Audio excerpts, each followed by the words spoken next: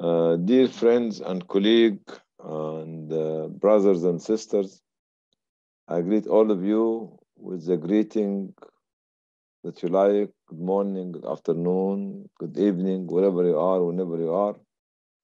I apologize for this uh, 14 minutes delay because of the internet connection.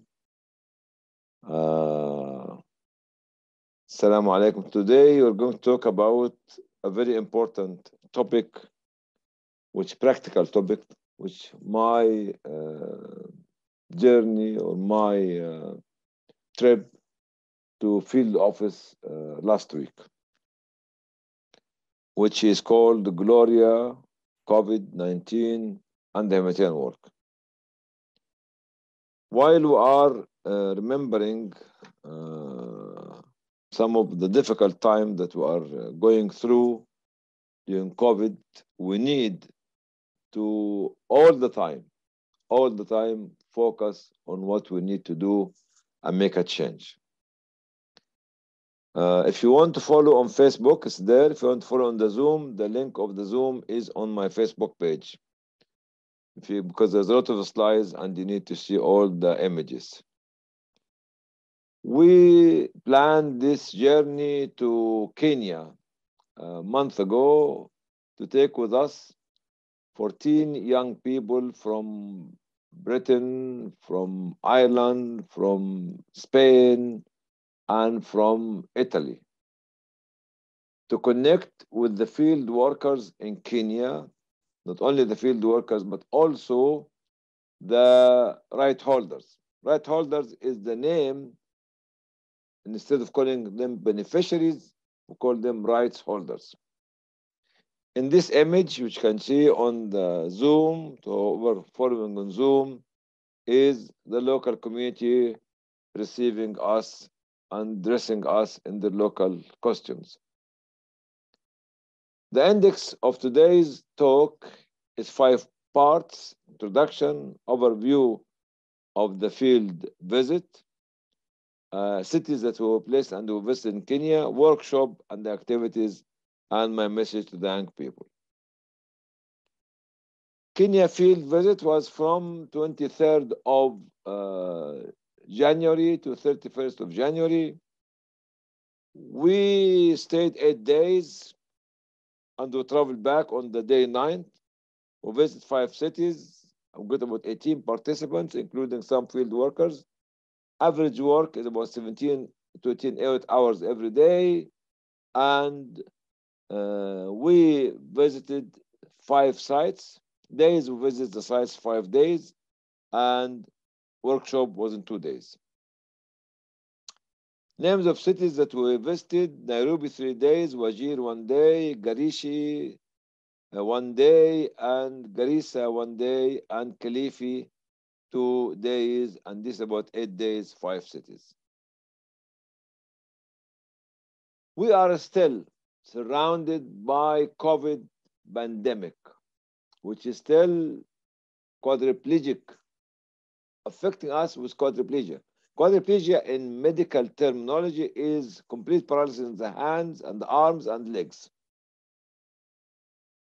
And this is since uh, April, March, April 2020 till about September, October 2021. We all have this quadriplegic behavior at the time.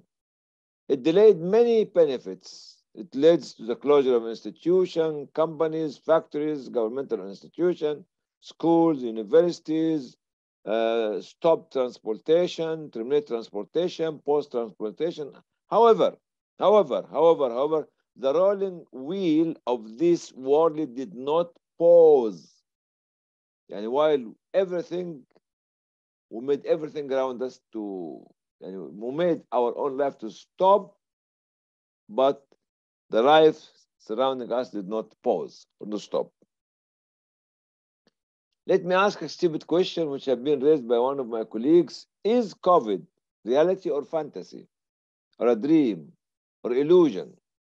Deception or existence? These questions keep come keep comes back, keeps coming back, keeps coming back, keeps coming back.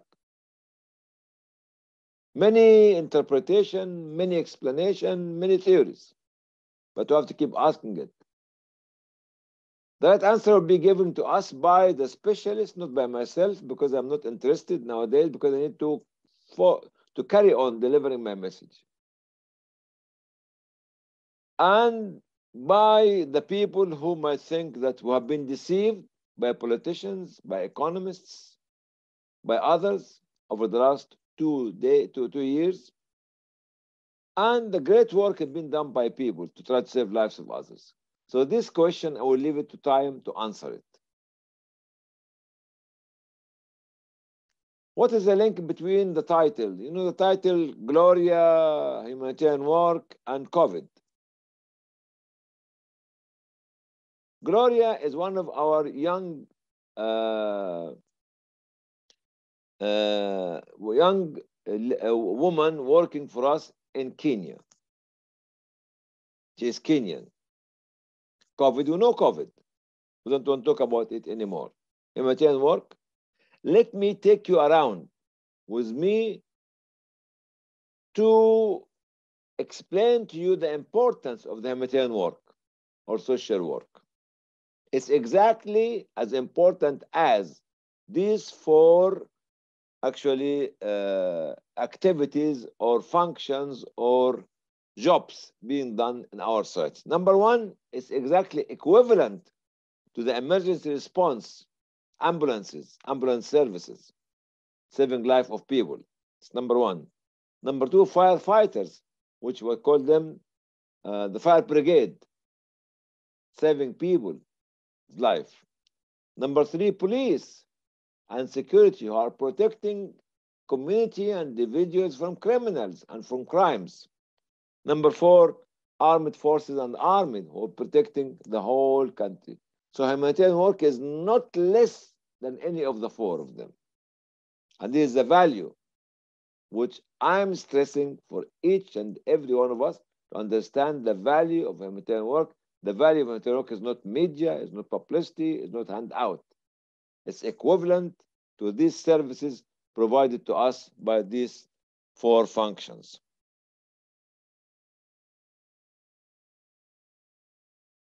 Okay? Whereas COVID that we spoke about previously and it became now became compulsory upon us to work during COVID.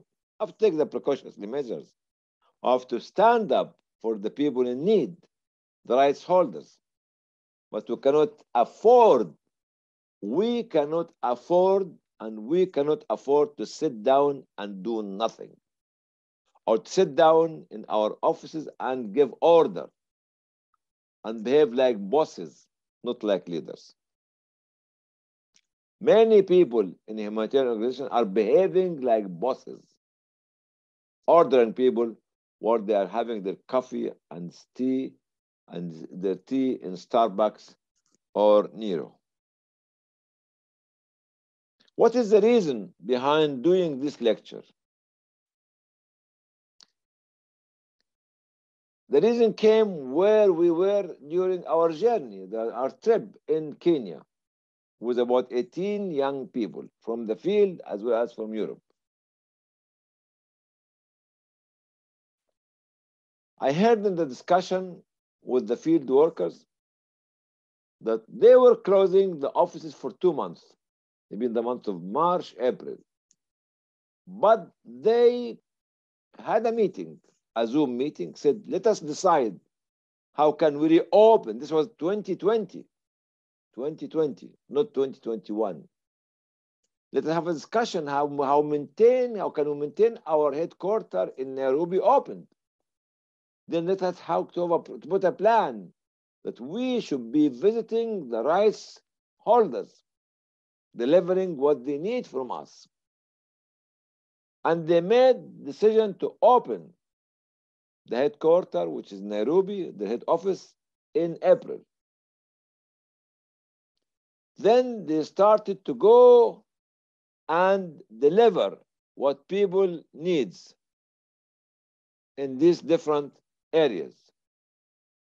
In one of the discussion, Gloria, uh, Abdul Rashid, and Yusuf and Jamu were talking to another. Said, the reopening of offices, organizing the presence of employees, and ensure the following government rules. Yeah, and you have to open the offices, the decision taken by the executive committee, and ensure that we are following the government rules and international rules.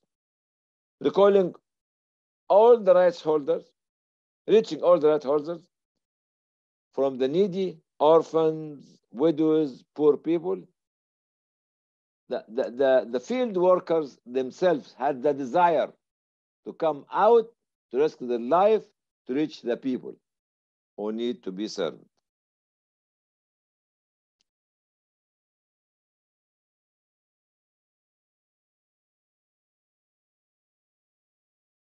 So, as we were talking with, with our uh, as we were talking to one another, Gloria mentioned on one day during Ramadan, she was fasting, but she was not Muslim. She is not Muslim, but she was sharing with us the spirit of Ramadan. She started her journey at 5 o'clock in the morning and she reached the place at 8 o'clock in the evening. Then Abdul Rashid and Yusuf and Jamu said, sometimes some of us took them 48 hours to reach the rights holders, to reach the widows and the orphans and others. This is, was the spirit. This was the spirit of the people in Kenya. This was the spirit of the field workers. This is the the spirit of the people who are on the ground that we are making ourselves bossy on them. While during this period, April, March, or April, May 2020, I'm talking about 2020, up till now, there's still some chairman, some senior directors, some CEOs did not go to their offices in the red headquarters. In Europe, in America, in the Middle East, in Canada, and other places. And they're still thinking whether they can open the offices or not. While we are still thinking here, Gloria, Abdul Rashid, Jamu, uh, and Yusuf were on the ground to reach the rights holders, the people who pay our salaries in the field. They are the orphans, the widows, and the destitute, the displaced, the disenfranchised communities. This is where I want you to put yourself in this image. Are we really humanitarian worker? Because when we ask for something and behave like a boss, not like a leader, we won the photograph yesterday while I'm sitting in London, or New York, or in Paris, or in Rome, or in Riyadh, or in Kuwait, or in Doha. I want the photograph today. I want the data today. I want the information today. But I'm not in the office. I'm sitting at home. This is the difference between the humanitarian spirit of the field workers and the humanitarian spirit of the bosses bossing us. The program which you made for this 14, 16 young uh, young men and women from Europe. It is for one objective, and I keep saying it all the time till I die, inshallah. It's building future generation. Building future generation. Building future generation. That's why we designed the program around this topic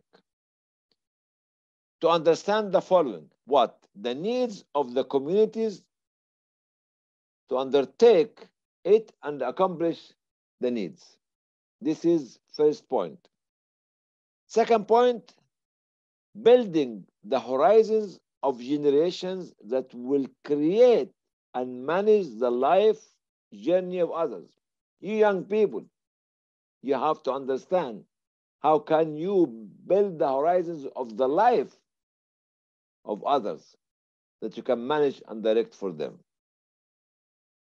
Number three, regulating and organizing social path that can weave the societal infrastructure. You have a very heavy task, very challenging time.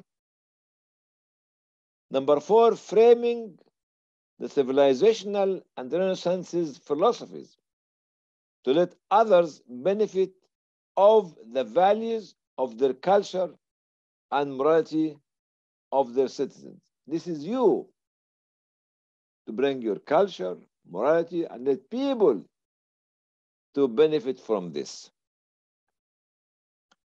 Drawing new landmarks to build the history of the future. You young people have to do that. Drawing new landmarks to build the history of the future of the people and their nations. You have to build the history of the future of nations that you are going to serve. Number six, building peace, structuring peace and security, spreading justice and equality and goodness, supporting the giving and benefit and beliefs, enlighten sight and insight in, and insight in secret and public, purification of secrets with knowledge, evidence and proof, and satisfaction with what the Lord granted us. All this to be framed inside the program of building future generation. So the journey's objective was trying to put a milestone in how to build the future generation.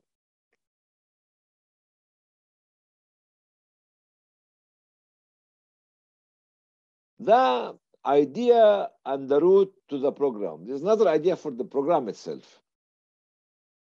It came, it is came through knowledge and becoming knowledgeable.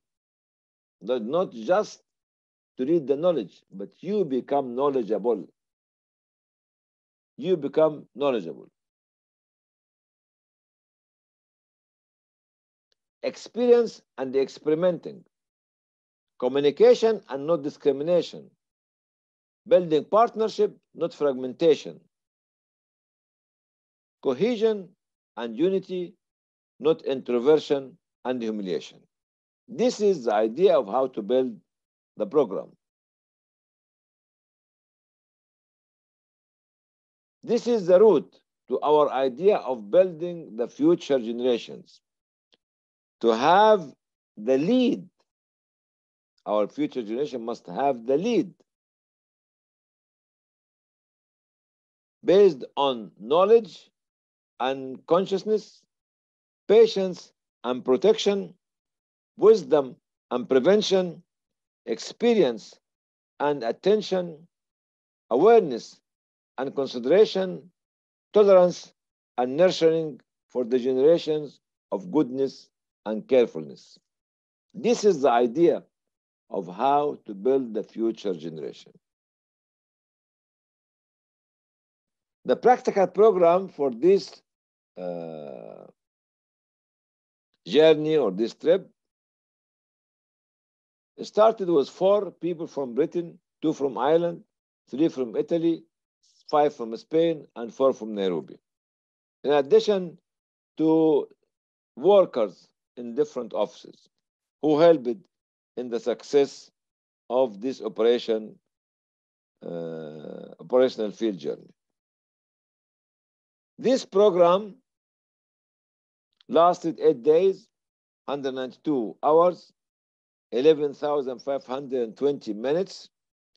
The average work on these eight days was 17 to 18 hours, bringing the total number of hours to 18 participants in eight days to become 3,456 hours. And for the for all for the whole group, for the whole group, the 18 is uh, 207,360 minutes. This is a, a lifetime for someone or some creature of Allah subhanahu wa ta'ala. How much this program will cost? If we calculate that the average daily cost could be $100, this is this the, the non-calculated cost. The average daily cost is about $100. So it will be roughly $14,400. This is beside the tangible cost, which actually came as cash from the uh, Department of Accountancy, which include tickets, cost of tickets, accommodation, transportation, food, communication, and others. So here, young men and young women, cost of journeys or trips like this or visit like this is not only cash cost, it is the cost of the time of the individual, the cost of the effort of the individual, the cost of the thoughts of the individuals, the cost of the interaction of the individual, the cost of the plannings of the individuals, the cost of the designing processes of the individuals as, as, as, as more and more and more and more. It's not only the cash that we pay from our bank account to the tangible things like air tickets or transportation or food or accommodation or. So this could double or triple the actual cost. What the premium addition that we have in this journey is that we ended it by having two days workshop. Quite often people go to visit the sites in the field to see people, to see the rights holders, to see the suffering, but they don't care about having to learn some additional experience from professional people in the field. But we have to make a workshop on day seven and day eight.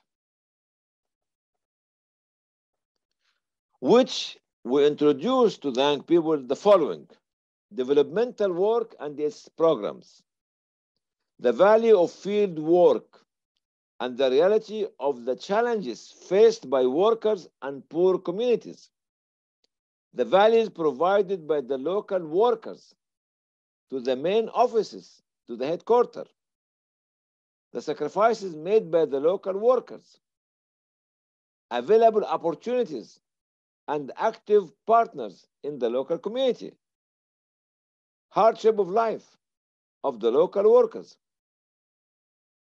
and the members of the poor community, local competencies of the people in the field and their capabilities that might not be available in the headquarters of these organizations.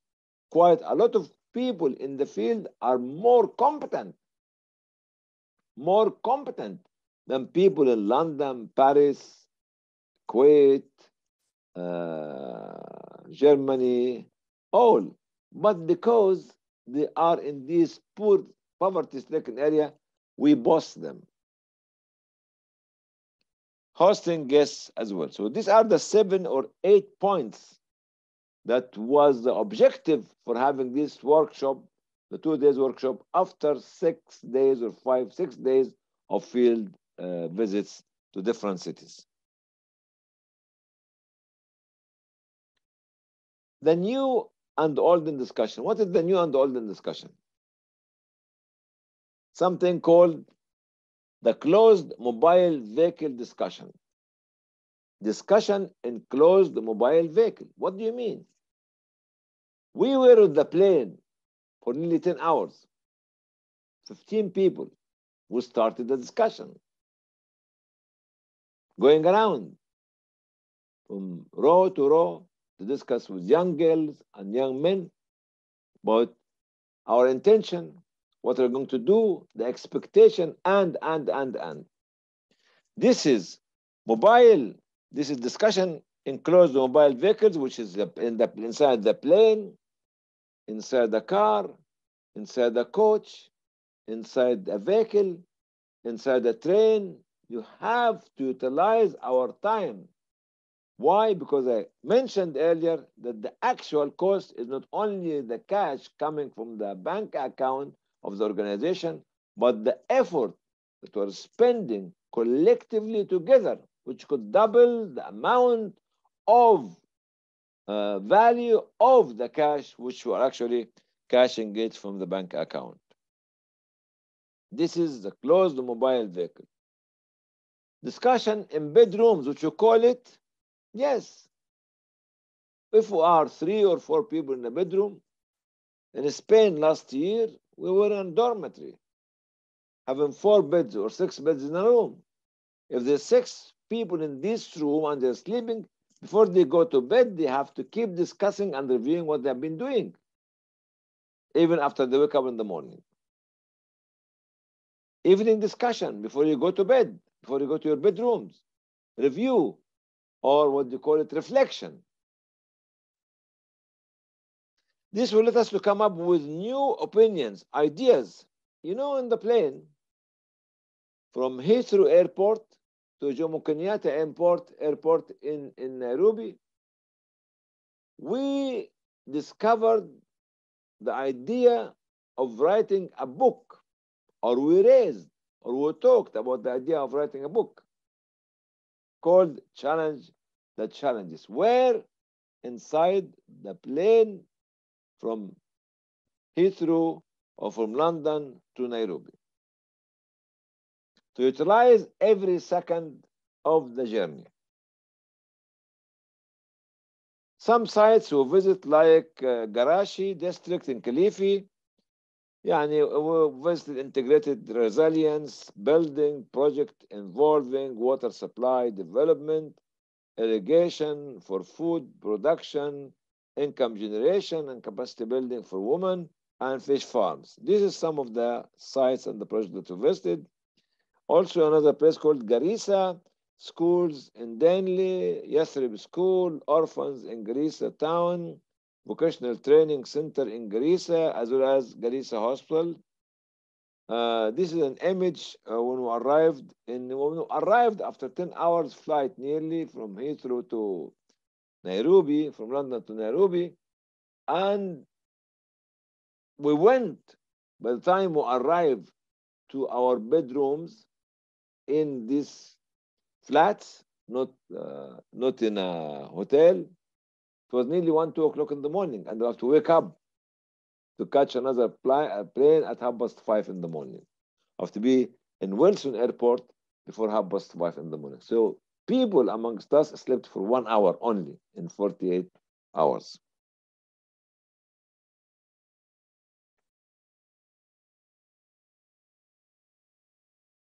These are some of the images of the young people in different places with the with the rights holders in the different projects. And this is Wajir, Kenya. And this is Garashi district. And this is the banana. I'll send you the link later on of the presentation and of the talk and the fish that we get from the fish farm the School of Deaf and Mute People. This is a program which uh, Islamic Relief made uh, for the workshop, two days workshop, was very attractive and very comprehensive. And this is my last, because I didn't want to make it very long for you. And this is my last message for the young people. What's my message for you, young people? I have reviewed with you the journey of eight days, 192 hours, 11,520 minutes for each individual. If you multiply them by 18, it will become 3,456 hours or 207,360 minutes. Umr, it's the life journey of someone. In addition, somebody else. It's not only the 18 people who came with us in the journey. No, inside the. No, no, no, no, no. Some other people came from Wajir, from Garashi, from Garissa, and all. What we want to talk to you about is that we did not go to Kenya, to the field offices there, to watch as a tourism or to be touring as a tourism or as a tourists to hear and talk? No. No no. We didn't go there just to keep taking some photographs pr watching talking oh feeling pity for others. No no no. On the contrary it was a journey of participation for learning. The experience of foresight, the discussion for reflection, the questioning of reasoning, and the debate of empowerment.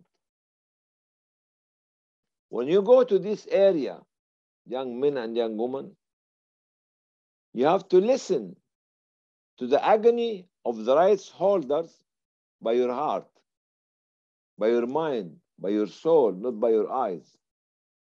You have to let the images of the photograph that you take or the videos that you take speaks out the agony of these people, the rights holders. It was not a tourism. It was not a journey of feeling pity for others. No, it was a journey of feeling the agony of others and reflecting the agony in action. We wanted to show you, young people, what? The value of the local field work. This number one. The value of the local, there's no humanitarian work without field work. No humanitarian work from European capital, Middle Eastern capitals, or American capitals, or Canadian capitals. No, it's from the field work. It's number one. The value of the local workers. Some of them are highly qualified, more committed and dedicated and spirited than most of us here in Europe, Canada, and America, and Middle East. The value of the real rights holders which we call, used to be calling them beneficiaries. Ah, it's very demeaning, insulting word. How on earth you call the one who provides you with your salary and your income as a beneficiary? Is the rights holder and the provider to you is your money for your salary. It's number three. The value of humanitarian and social work carried by whom? Not by London, Paris and Rome, New York and New Jersey and Washington, but by the people there, the action, the work, the actual work there. Civil society there should be empowered and promoted. The value of the mission and the ethics of the humanitarian and social work. Our humanitarian and social work has a mission and that ethics and has values and has culture comes from there, not from books that we cut and paste and to make nice talks, which means nothing. Nice, hollow, meaningless talks.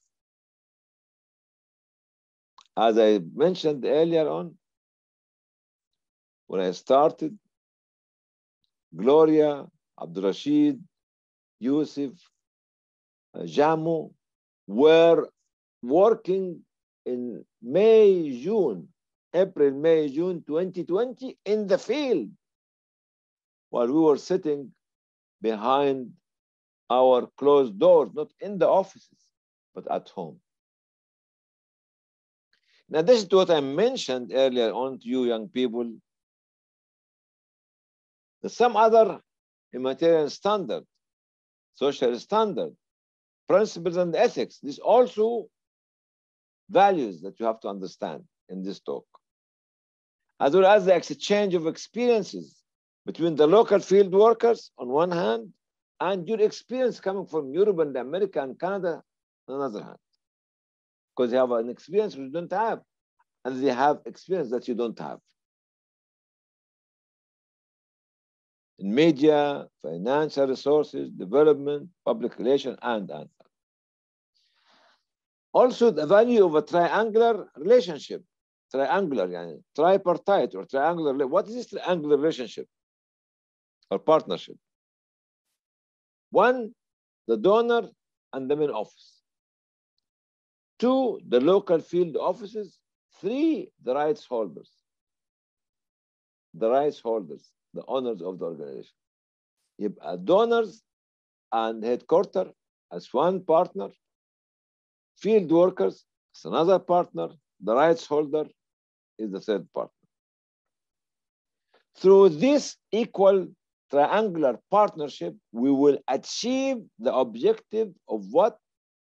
Of the World Humanitarian Summit, which was held in Istanbul 2016, when the three of the three partners will have equal footage, equal rights, despite that we should give more rights to the rights holders, which are the poor and the, the needy, the orphans and the sick and the elderly and displaced and refugees and others. World Humanitarian Summit, which was held in Istanbul 2016, which includes participation of everyone, localization, leaving no one behind, leaving no one behind. Investing in institution building, association initiatives, and building the local humanitarian competencies, localization. Achieving other goals of World Humanitarian Summit, such as the Grand Bargain, where we should give more money directly to the local organization, not to the international organization. In addition to that, to humanitarian standard, we mentioned about it, we talked about it, standards and principles of good governance, millennium, millennium and, and sustainable development goal. Millennium development goal and sustainable. All this I mentioned to you, which is very important to know before becoming a field worker or a humanitarian worker. Young people, get used not to waste any minute or a second. And let me take you to one example. People sometimes not only waste time, time, but waste food and money. Leave half of the plate filled, and they call themselves humanitarian worker, humanitarian workers. Well, you see, young children from Syria and Yemen are dying, or Afghanistan are dying, and going to the rubbish, going to the slum to pick up anything, anything to eat, should be ashamed of yourself of leaving half of your cup or leaving half of a, a, piece of a piece of bread or half of your plate. It's absolutely haram and forbidden. And you cannot call yourself a humanitarian worker.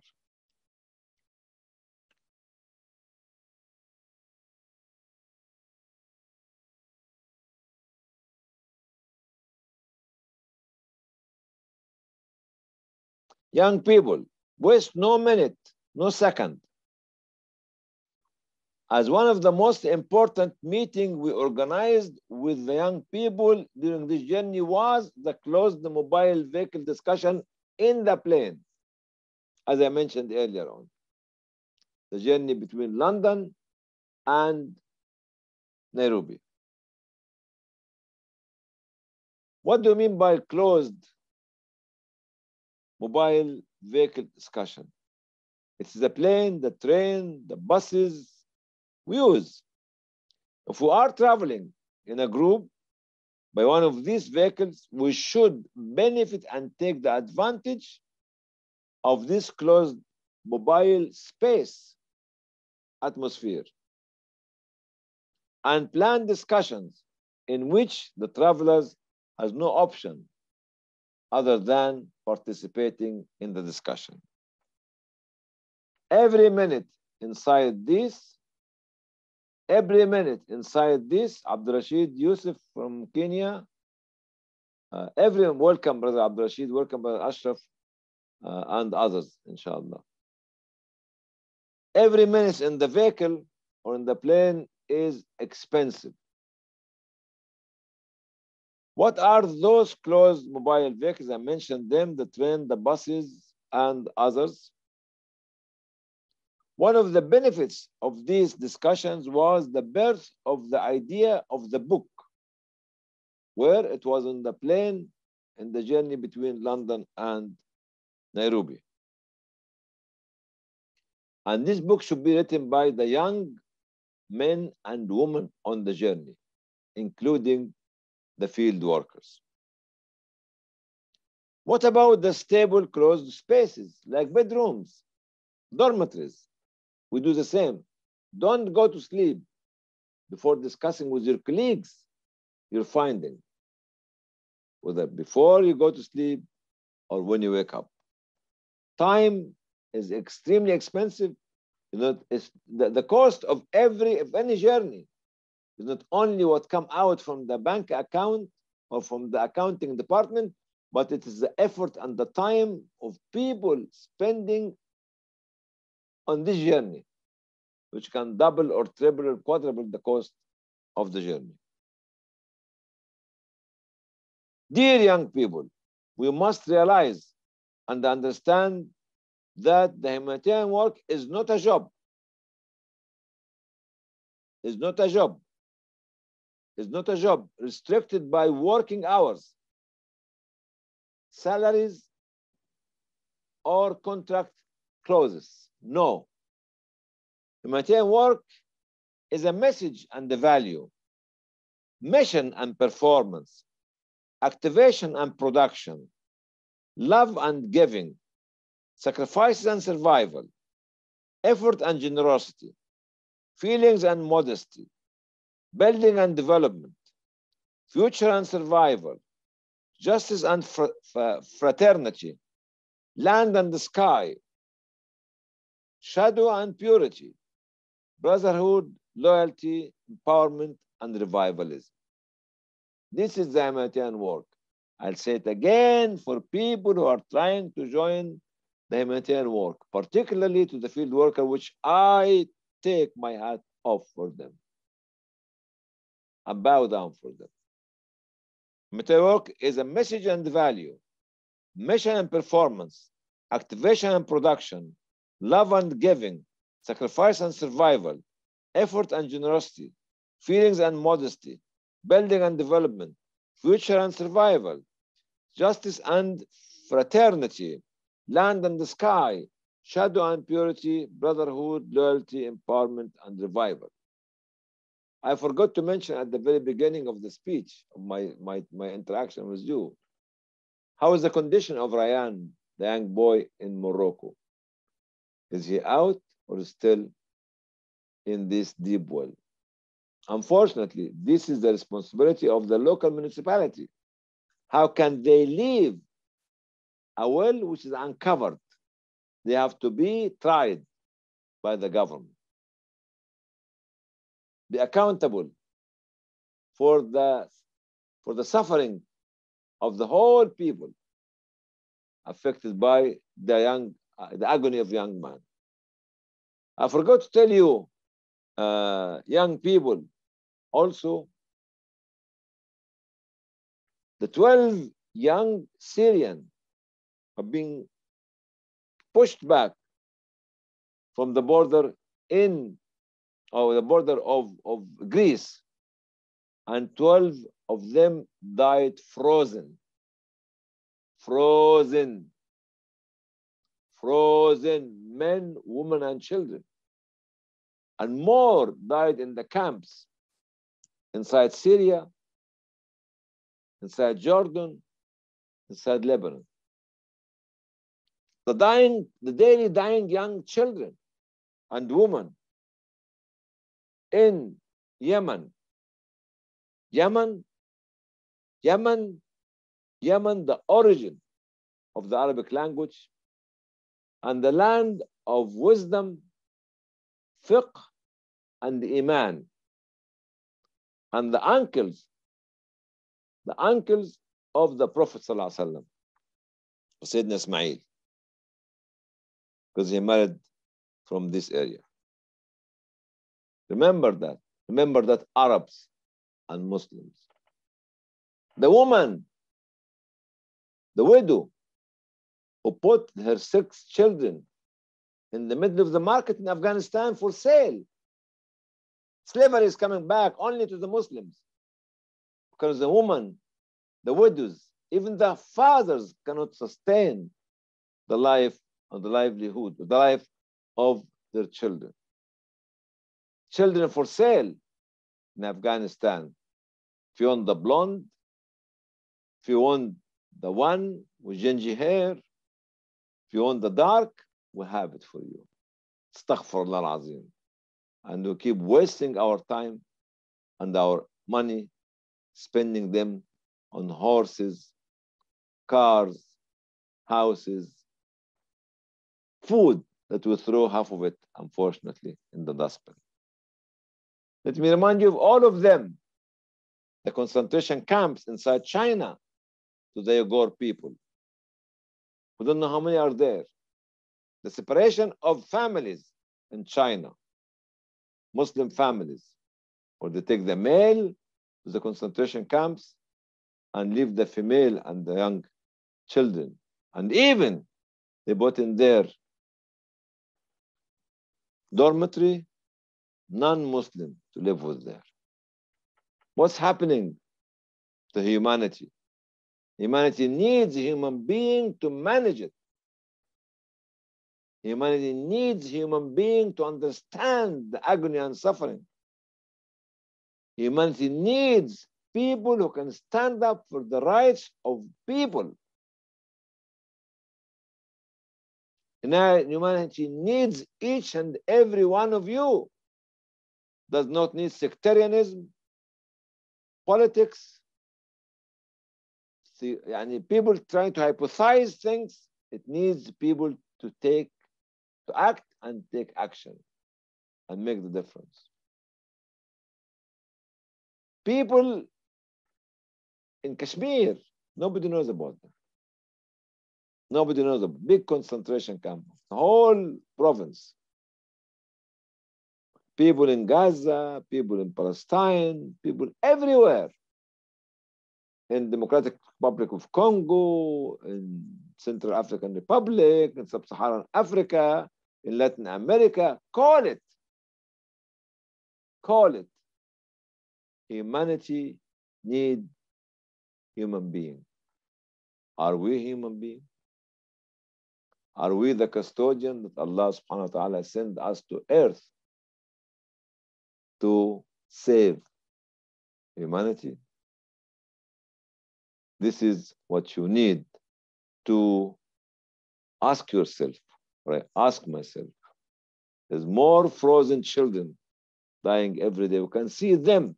You know, the biggest joke that we have seen it over the last few days is the Palestinian inside the refugee camps are donating raising fund to the Syrian in displacement and in refugees camp.